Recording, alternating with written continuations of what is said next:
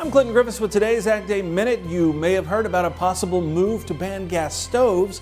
Now, the White House says the president doesn't support such a ban. The announcement comes after the Consumer Product Safety Commissioner suggested to Bloomberg he may pursue such action. Now, he told the outlet gas stoves are a hidden hazard and that, quote, products that can't be made safe can be banned. And he says pollutants from gas stoves have been linked to asthma and other respiratory conditions. Now, the CPSC is confirming it has no plan to ban gas stoves, but it might seek to restrict emissions from them. Subway is exploring a potential sale that could value the sandwich chain at more than $10 billion. That's according to the Wall Street Journal. The process is reportedly in the early stages, and Subway, which has 37,000 locations in more than 100 countries, has long been a potential acquisition target, and it could still decide against any transaction.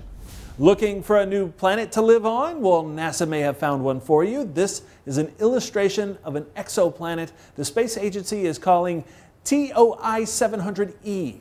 A NASA mission spotted the Earth-sized planet about 100 light years away. It's in a habitable zone where the planet is at a safe enough distance from a star and can potentially have liquid water on its surface. And according to scientists, that suggests the potential for life on that planet. For more Ag News, watch Ag Day weekdays on this station or anytime at agweb.com.